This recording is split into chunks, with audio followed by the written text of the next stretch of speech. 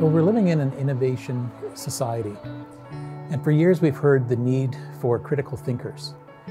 This is true today, but also equally important is the need for creative thinkers. And Fanshawe is offering the opportunity for students to develop critical thinking and critical problem solving skills by having experiential learning within their curriculum that supports the development of these skills.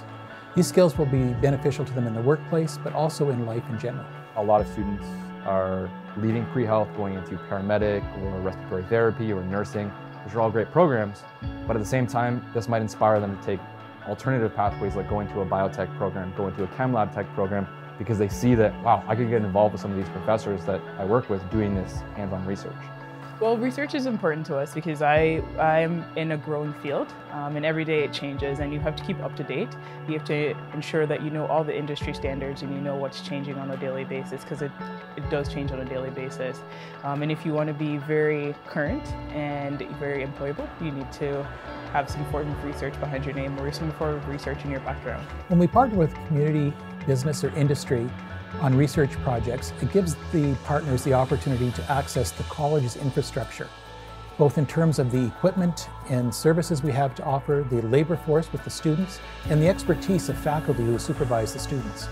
The result is that they get solutions to their defined problems that often result in economic development, social benefit, or technological advances. The college's drive is to train students, ensure that students can get jobs out of it, and help local companies.